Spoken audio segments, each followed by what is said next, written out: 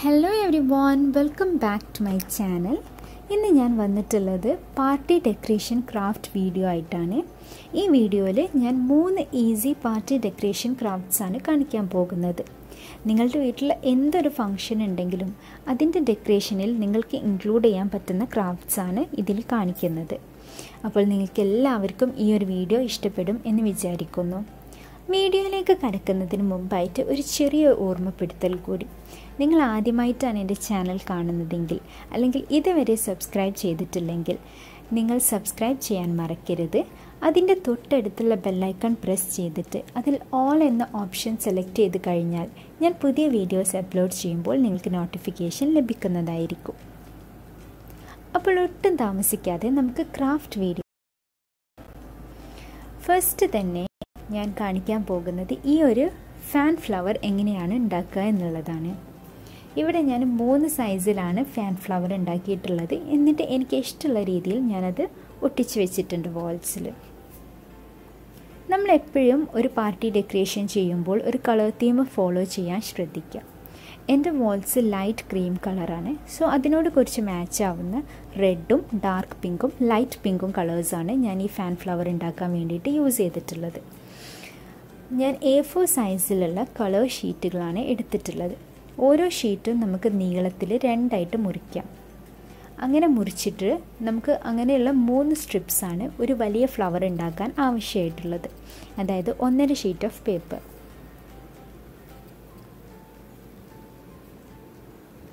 അങ്ങനെ ഞാൻ മൂന്ന് സ്ട്രിപ്സ് കട്ട് ചെയ്തെടുത്തിട്ടുണ്ട്.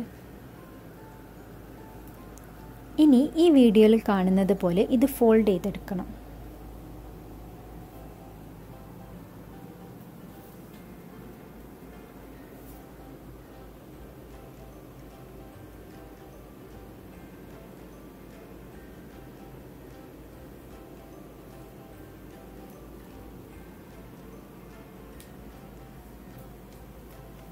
നമുക്കിത് പേപ്പർ ഫാനൊക്കെ ഉണ്ടാക്കുന്നത് പോലെയാണ് നമുക്കിത് ഫോൾഡ് ചെയ്യേണ്ടത്. അതുകൊണ്ട് ഈ സ്റ്റെപ്പ് അത്ര നിർബന്ധമൊന്നുമല്ല. ഈ സ്റ്റെപ്പ് എന്തിനാണ് ചെയ്യുന്നതെന്ന് വെച്ചാൽ നമ്മൾ ഫാൻ ഉണ്ടാക്കുന്നത് പോലെ ഫോൾഡ് ചെയ്യുന്നത് കുറച്ചും കൂടി ഈസി ആക്കാനും ഒരു നീറ്റ്നെസ് കിട്ടാനും വേണ്ടിയിട്ടാണ് നമ്മൾ ഫസ്റ്റ് ഇങ്ങനെ ഫോൾഡ് ചെയ്യുന്നത്. നിങ്ങൾക്ക് ഡയറക്റ്റായിട്ട് ഫാൻ ചെയ്യുന്നത് പോലെ ഫോൾഡ് ചെയ്യുകയാണെങ്കിൽ അങ്ങനെയും ചെയ്യാം. പക്ഷേ അതിന് ചെരിവും കാര്യങ്ങളൊക്കെ വരാൻ സാധ്യതയുണ്ട്. അപ്പോൾ പെർഫെക്ഷൻ ആഗ്രഹിക്കുന്നുണ്ടെങ്കിൽ നിങ്ങൾ ആദ്യം കാണിച്ചതുപോലെ ഫോൾഡ് ചെയ്തതിന് ശേഷം മാത്രം ഇതുപോലെ ഫാനിന്റെ രീതിയിൽ ഫോൾഡ് ചെയ്യാം ഇനി ഇതുപോലെ തന്നെ മറ്റ് രണ്ട് സ്ട്രിപ്സും കൂടി നമുക്ക് ഫോൾഡ് ചെയ്തെടുക്കാം. അങ്ങനെ നമ്മുടെ മൂന്ന് സ്ട്രിപ്സും റെഡി ആയിട്ടുണ്ട്. ഇനി അടുത്ത സ്റ്റെപ്പ് എന്ന് പറയുന്നത് ഈ മൂന്ന് സ്ട്രിപ്സും കൂടി കൂട്ടി യോജിപ്പിക്കണം. ഒരു ഫെവിക്കോൾ യൂസ് ചെയ്തിട്ട് നമുക്ക് ഇതിന്റെ ഓരോ സൈഡ്സും സ്റ്റിക്ക് ചെയ്ത് കൊടുക്കാം.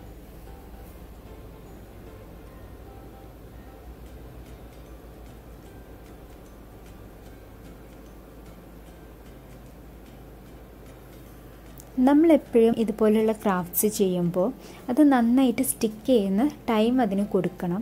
പെട്ടെന്ന് ധൃതി പിടിച്ച് ചെയ്യരുത്. അങ്ങനെ ചെയ്ത് കഴിഞ്ഞാൽ അത് നന്നായിട്ട് ഒട്ടിയിട്ടില്ലെങ്കിൽ നമ്മളത് വാളിൽ ഒട്ടിക്കുന്ന സമയത്ത് അത് പോരാൻ സാധ്യതയുണ്ട്. അപ്പോൾ നമുക്ക് അതിനേക്കാളും ബുദ്ധിമുട്ടാകും. അതുകൊണ്ട് കുറച്ച് ടൈം എടുത്തിട്ടാണെങ്കിലും നന്നായിട്ട് സ്റ്റിക്കായിട്ടുണ്ടെന്ന് ഉറപ്പ് വരുത്തുക. ഇപ്പോൾ നമ്മൾ നമ്മുടെ മൂന്ന് സ്ട്രിപ്സും കൂടി കൂട്ടി യോജിപ്പിച്ചിട്ടുണ്ട്. ഇനി നമ്മുടെ ഫാൻ ഫ്ലവർ ഇങ്ങനെയാണ് വരിക. പക്ഷേ ഇങ്ങനെ നമ്മൾ ഗ്ലൂ തേച്ചാൽ ഒരു പക്ഷേ അത് അത്രയും നല്ല രീതിയിൽ സ്റ്റിക്ക് ആവില്ല അതുകൊണ്ട് നമുക്ക് ഇതുപോലെ ഒരു സിലിണ്ടർ ഫോമിലാക്കിയിട്ട് ഇതിന്റെ രണ്ട് സൈഡ്സും കൂടി സ്റ്റിക്ക് ചെയ്ത് കൊടുക്കാം.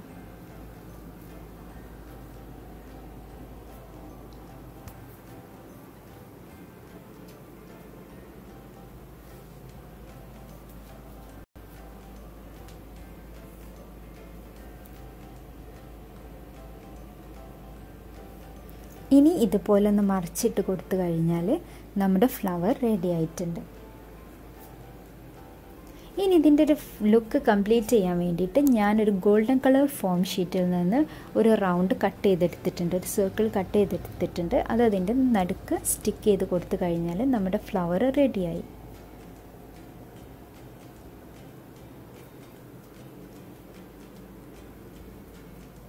ഇതുപോലെയുള്ള രണ്ട് ഫ്ലവേഴ്സും കൂടി ഞാൻ ഉണ്ടാക്കിയിട്ടുണ്ട്. ഒന്ന് ഡാർക്ക് പിങ്കിലും ഒന്ന് ലൈറ്റ് പിങ്കിലും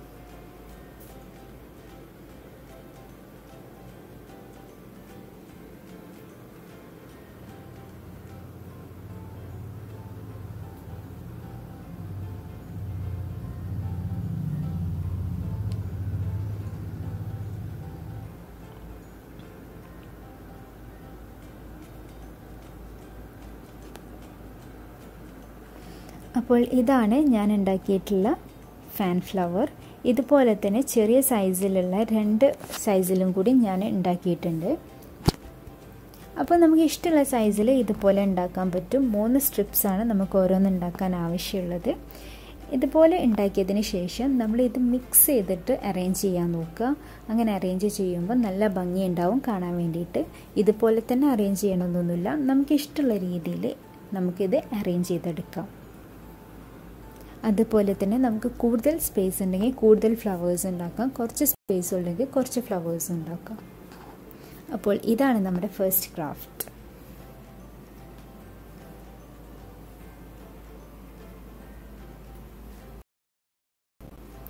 ഇനി രണ്ടാമത്തെ ക്രാഫ്റ്റ് എന്ന് പറയുന്നത് ഇതുപോലുള്ള ന്യൂമറിക്കൽ ഡിജിറ്റ്സ് എങ്ങനെയാണ് ഉണ്ടാക്കാൻ നോക്കാം.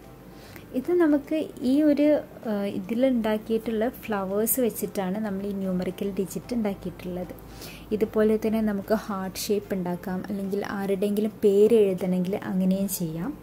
ഇത് മെയിനായിട്ട് ബർത്ത്ഡേസിനും ആനിവേഴ്സറിക്കൊക്കെ നമ്പേഴ്സ് എഴുതാൻ വേണ്ടിയിട്ട് നമുക്ക് എങ്ങനെ ചെയ്യാമെന്ന് നോക്കാം. അതിന് നമുക്ക് ആവശ്യമായിട്ടുള്ളത് ഒരു കാർഡ്ബോർഡ് പീസാണ് ഇത് എനിക്ക് ഫസ്റ്റ് ക്രൈന്റെ കൊറിയർ വന്നപ്പം കിട്ടിയിട്ടുള്ള ഒരു കാർഡ്ബോർഡ് ബോക്സാണ് ഇതിൽ നിന്നാണ് ഞാൻ ഈ ടു കട്ട് ചെയ്തെടുക്കാൻ പോകുന്നത്. നമ്മൾ എപ്പോഴും നമ്പേഴ്സൊക്കെ എഴുതുമ്പം നമുക്ക് എഴുതാൻ എളുപ്പത്തിന് നമുക്ക് നെറ്റിൽ പല ട്രിക്സും കിട്ടാറുണ്ട്. ഞാനിവിടെ ടു ആണ് എഴുതിയിട്ടുള്ളത്. അതിന്റെ ട്രിക്ക് ഞാൻ നിങ്ങൾക്ക് കാണിച്ചു തരാം. എല്ലാ ന്യൂമറിക്കൽ ഡിജിറ്റ്സിന്റെ ട്രിക്ക് എനിക്കിപ്പോൾ കാണിച്ചു തരാൻ പറ്റില്ലല്ലോ. അതുകൊണ്ട് ഞാൻ ഞാൻ ചെയ്ത നമ്പറിന്റെ ഇത് കാണിച്ചു തരാം. അപ്പോൾ നമ്മൾ ഫസ്റ്റ് ഒരു റെക്റ്റാങ്കുലർ പീസ് ഓഫ് പേപ്പർ എടുക്കണം. അപ്പോൾ ഇതാണ് നമ്മുടെ പേപ്പർ അതിന്റെ താഴെയായിട്ട് നമ്മൾ ഇതുപോലെ ഒരു ലൈൻ വരച്ചു കൊടുക്കാം എന്നിട്ട് മേലെ നമ്മൾ ഒരു സർക്കിളാണ് വരച്ചു കൊടുക്കേണ്ടത്. ഇത് നിങ്ങൾ സ്കെയിൽ വെച്ചിട്ടും കോമ്പസ് വെച്ചിട്ടും ചെയ്യുകയാണെങ്കിൽ നിങ്ങൾക്ക് പെർഫെക്റ്റ് ആയിട്ട് കിട്ടും. ഇനി അതിന്റെ റേഡിയസ് ഒന്ന് കുറച്ചതിന് ശേഷം ഉള്ളിൽ ഒരു സർക്കിളും കൂടി വരച്ചു കൊടുക്കുക. ഇനി ഈ സർക്കിളിന്റെ ഒരു സൈഡിൽ നിന്ന് താഴെ നമ്മൾ വരച്ച ആ ലൈനിലേക്ക് ജോയിൻ ചെയ്യാം അതുപോലെ വലിയ സർക്കിളിന്റെ ഒരു സൈഡിൽ നിന്നും താഴെയുള്ള ലൈനിന്റെ ഒരു സൈഡ് പോർഷനിലേക്ക് നമുക്കിതുപോലെ വരച്ചു കൊടുക്കാം. അപ്പോൾ നമ്മളിത് ചെയ്യുമ്പോൾ എപ്പോഴും മെഷർമെന്റ് കറക്റ്റാണ് നോക്കുക. അപ്പോൾ നമ്മളൊരു ത്രീ ആണ് എടുക്കുന്നതെങ്കിൽ എല്ലായിടത്തും ത്രീ സെന്റിമീറ്റർ കിട്ടുന്ന രീതിയിൽ വേണം നമ്മളിത് ചെയ്യാൻ വേണ്ടിയിട്ട്. ഇത് ഞാൻ റഫായിട്ട് കാണിച്ചു തരുന്നതുകൊണ്ടാണ് മെഷർമെന്റ് ഒന്നും കാണിക്കാത്തത്.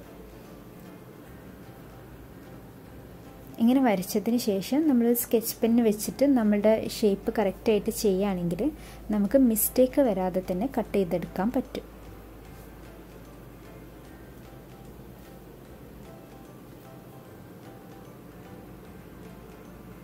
ഇതുപോലെ വൺ ത്രീ എല്ലാ നമ്പേഴ്സ് എഴുതാനുള്ള ട്രിക്കും നമുക്ക് ഇന്റർനെറ്റിൽ ഈസിലി അവൈലബിൾ ആണ്. അതുപോലെ തന്നെ ലെറ്റേഴ്സും നമുക്ക് എഴുതാനുള്ള ട്രിക്സ് ഉണ്ട്. അപ്പോൾ അതൊക്കെ ഒന്ന് നോക്കുക. ഇതാ ഞാൻ എന്റെ കാർഡ്ബോർഡ് ബോക്സിൽ ഇതുപോലെ എഴുതിയിട്ടുണ്ട് ടു എന്ന് എഴുതിയിട്ടുണ്ട്. ഇനി നമുക്ക് ഒരു സിസേഴ്സ് വെച്ചിട്ട് കട്ട് ചെയ്തെടുക്കാം. ഇനി ഇതിന്റെ മേലെ നമ്മൾ കുറച്ച് ഫ്ലവേഴ്സ് ഉണ്ടാക്കിയിട്ടാണ് വെക്കാൻ പോകുന്നത്. അതിന് വേണ്ടിയിട്ട് നിങ്ങൾക്ക് ക്രേപ്പ് പേപ്പർ എടുക്കാം. അല്ലെങ്കിൽ ഞാൻ എടുത്തിട്ടുള്ളത് ടിഷ്യൂ പേപ്പറിന്റെ അത്രയും ന്യൂസ് പ്രിന്റൊക്കെ ഉണ്ട്. ന്യൂസ് പ്രിന്റിനേക്കാളും കുറച്ചും കൂടി കട്ടി കുറഞ്ഞിട്ടുള്ള ഒരു ടൈപ്പ് കളർ പേപ്പറാണ് ആ പേപ്പറിൽ നിന്ന് നമ്മൾ കുറച്ച് സ്ക്വയേഴ്സാണ് കട്ട് ചെയ്തെടുക്കേണ്ടത്. ഒരു ഫ്ലവർ ഉണ്ടാക്കാൻ നമുക്ക് മിനിമം നാല് സ്ക്വയറാണ് വേണ്ടത്. മാക്സിമം എത്രയും നമുക്ക് ചെയ്യാം. പക്ഷെ നമുക്ക് കുറേ ഫ്ലവേഴ്സ് ഉണ്ടാക്കാനുള്ളതുകൊണ്ട് ഞാൻ നാല് പീസ് തന്നെ എടുത്തിട്ടുള്ളൂ ഒരു ഫ്ലവർ ഉണ്ടാക്കാൻ വേണ്ടിയിട്ട്. അപ്പോൾ നമുക്ക് കുറേ കട്ട് ചെയ്ത് വെക്കാം. ഇത് ഞാൻ റെഡ് കളറിൽ മാത്രമാണ് ചെയ്യുന്നത്.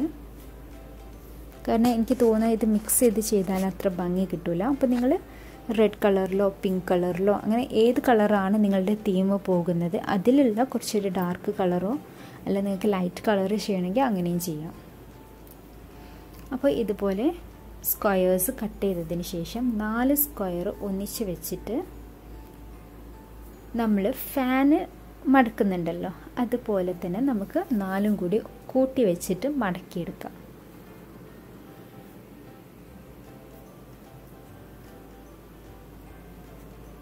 ഇങ്ങനെ മടക്കിയിട്ട് പിന്നെ നമുക്ക് നടു ഇതുപോലെ മടക്കി കൊടുത്തിട്ട് ഇതിന്റെ താഴ്ഭാഗത്തായിട്ട് ഒന്ന് സ്റ്റേപ്പിൾ ചെയ്ത് കൊടുക്കാം. ഇനി നമ്മൾ ചെയ്യേണ്ടത് ഇതിന്റെ ഓരോ എതളുകൾ സെപ്പറേറ്റ് ചെയ്യണം. അതിന്റെ മുമ്പായിട്ട് എതളിനൊരു ഷേപ്പ് കൊടുക്കാം. നമുക്ക് ഇഷ്ടമുള്ള ഷേപ്പ് കൊടുക്കാം. ഞാനിതാ ഇതുപോലെയുള്ളൊരു ഷേപ്പാണ് കൊടുക്കുന്നത്. അപ്പോൾ അതുപോലെ കട്ട് ചെയ്യാം. ഇനി നമുക്ക് ഓരോ ഇതളും സെപ്പറേറ്റ് ചെയ്ത് കൊടുക്കാം. ഇത് സെപ്പറേറ്റ് ചെയ്യുമ്പോൾ നമ്മൾ നന്നായിട്ട് കെയർ ചെയ്യണം. കാരണം എന്താണെന്ന് വെച്ചാൽ ഇത് ഒട്ടും കട്ടിയില്ലാത്ത പേപ്പറാണ് അതുകൊണ്ട് തന്നെ കീറിപ്പോകാൻ സാധ്യതയുണ്ട്.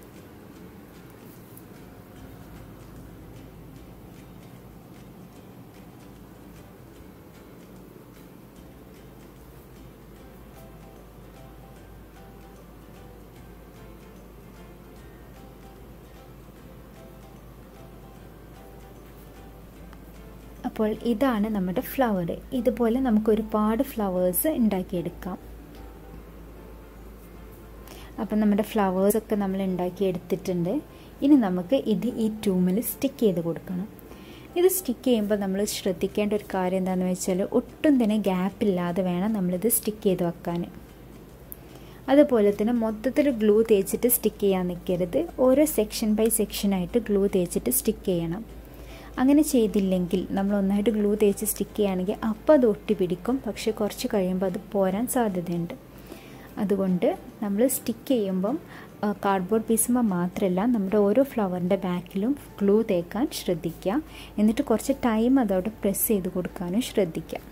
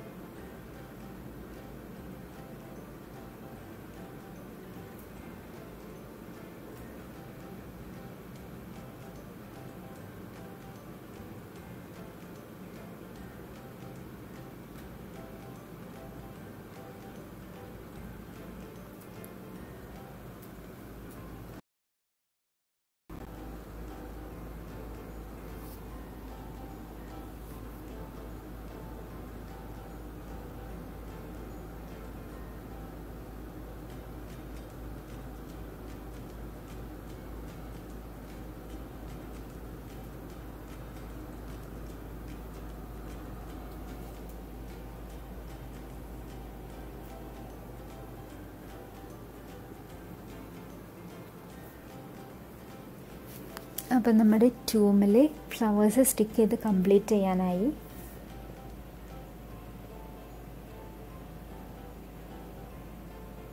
അപ്പോൾ ഒട്ടും തന്നെ ഗ്യാപ്പില്ലാതെ നമ്മൾ നമ്മുടെ ടൂ ഫ്ലവേഴ്സ് വെച്ചിട്ട് ഫില്ല് ചെയ്തിട്ടുണ്ട്. ഇനി ഇത് നമ്മൾ വാളിൽ തൂക്കുമ്പോൾ കുറച്ചും കൂടി ഭംഗിയുണ്ടാവും കാണാനേ.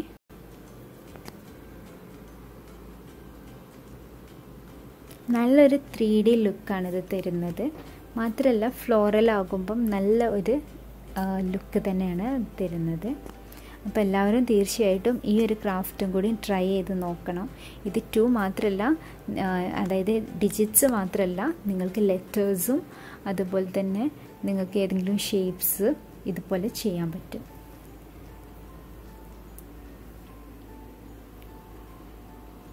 ഇനി ലാസ്റ്റ് ക്രാഫ്റ്റ് എന്ന് പറയുന്നത് ഇതുപോലെയുള്ള ബാനർ എങ്ങനെ ഉണ്ടാക്കുക എന്നുള്ളതാണ്. അത് വളരെ സിമ്പിളാണ് ഇതിലുള്ള മൂന്ന് ക്രാഫ്റ്റ്സും വളരെ സിമ്പിളാണ് പക്ഷേ സെക്കൻഡ് വൺ കുറച്ച് ടൈം കൺസ്യൂമിംഗ് ആണെന്ന് മാത്രം. അപ്പോൾ ഈ ബാനർ ഉണ്ടാക്കാൻ വേണ്ടിയിട്ട് ഞാൻ രണ്ട് കളേഴ്സാണ് എടുത്തിട്ടുള്ളത്. ലൈറ്റ് പിങ്കും പിന്നെ സ്കൈ ബ്ലൂ ആണ് എടുത്തിട്ടുള്ളത്. അപ്പോൾ അത് ലൈറ്റ് പിങ്കിൽ നിന്ന് ഞാൻ കുറച്ച് റെക്റ്റാങ്കുലർ പീസസ് കട്ട് ചെയ്തെടുക്കുകയാണ്. ഇപ്പം നമ്മുടെ ബാനറിന്റെ സൈസ് നമുക്ക് എത്രയാണോ വേണ്ടത് അതിനനുസരിച്ചിട്ടുള്ള സൈസ് ആക്കിയിട്ട് നമുക്ക് കട്ട് ചെയ്തെടുക്കാം.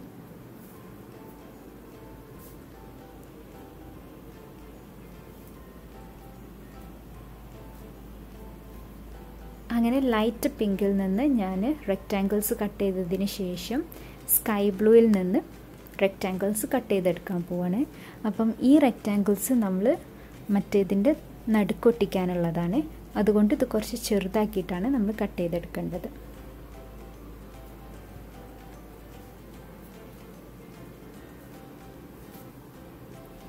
അപ്പം നമ്മളിത് സ്കൈ ബ്ലൂവും കട്ട് ചെയ്തിട്ടുണ്ട്. അതിന്റെ താഴെ ഇതുപോലെ ഒന്ന് ട്രയാങ്കുലർ ഷേപ്പിൽ കട്ട് ചെയ്ത് കൊടുക്കുക. ഇനി നമുക്ക് ഇത് ഓരോന്നോരോന്നായിട്ട് ഈ പിങ്കിൽ ഒട്ടിച്ചു കൊടുക്കാം.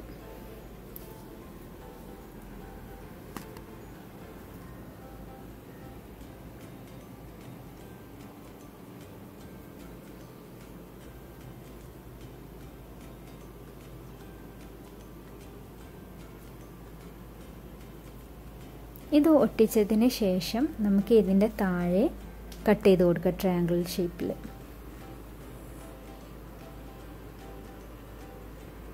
വരച്ചിട്ട് കട്ട് ചെയ്യുമ്പോൾ നമുക്ക് ഏകദേശം കറക്റ്റായിട്ട് കിട്ടും.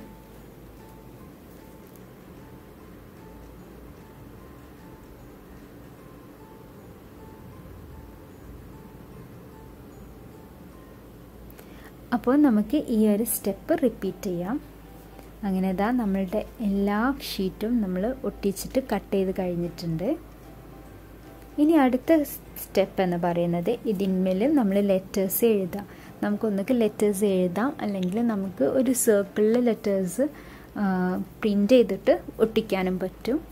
ഞാനിവിടെ ഹാൻഡ് കൈ ഉപയോഗിച്ചിട്ട് എഴുതാണ്. ഹാപ്പി ബർത്ത്ഡേ ആണ് എഴുതുന്നത്. ആദ്യം പെൻസിൽ വെച്ചിട്ട് എഴുതിയിട്ട് പിന്നെ സ്കെച്ച് പെന്നോ അല്ലെങ്കിൽ മാർക്കറോ വെച്ചിട്ട് നമുക്കൊന്ന് ഹൈലൈറ്റ് ചെയ്ത് ഡാർക്ക് ആക്കിയിട്ട് എഴുതാം.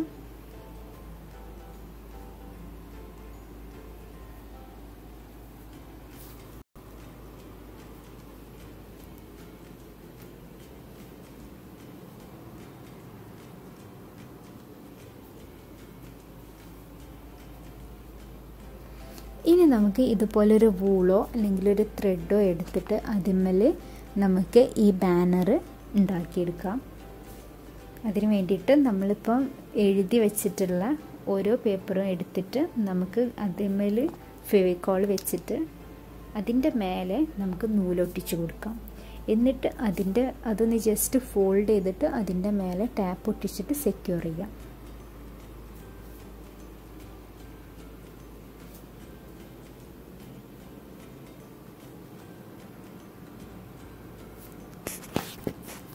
നമ്മളിത് ചെയ്യുമ്പോൾ എപ്പോഴും ഓരോ ഷീറ്റും തമ്മിലുള്ള ഡിസ്റ്റൻസ് കറക്റ്റാണെന്ന് ഉറപ്പ് വരുത്തുക.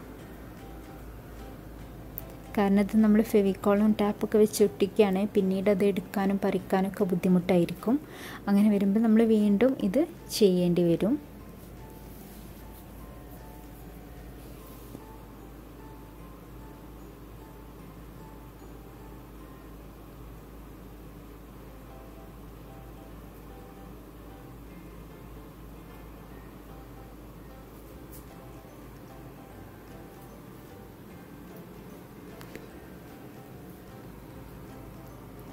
കുറച്ച് ടൈം എടുത്താലും നമ്മളിത് നന്നായിട്ട് സ്റ്റിക്കായിട്ടുണ്ടെന്ന് ഉറപ്പ് വരുത്തണം. അല്ലെങ്കിൽ ചിലപ്പം നമ്മുടെ ഗസ്റ്റ്സിന്റെ മുമ്പിൽ വെച്ചിട്ടായിരിക്കും അതൊക്കെ പറഞ്ഞു പോരുക.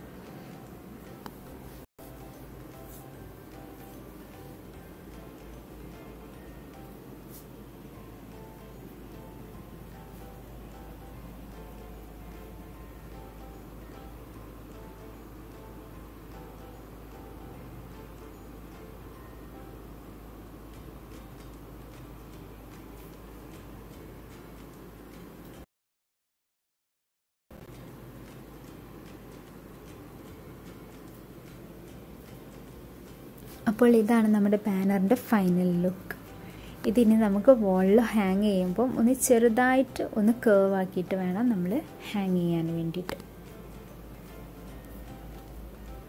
അപ്പോൾ ഇത്രയാണ് ഇന്നത്തെ വീഡിയോ നിങ്ങൾക്ക് എല്ലാവർക്കും ഇഷ്ടപ്പെട്ടിട്ടുണ്ടാവും എന്ന് വിചാരിക്കുന്നു. ഇഷ്ടപ്പെട്ടെങ്കിൽ ലൈക്ക് ചെയ്യാനും ഷെയർ ചെയ്യാനും കമന്റ് ചെയ്യാനും മറക്കരുത്. Thank for watching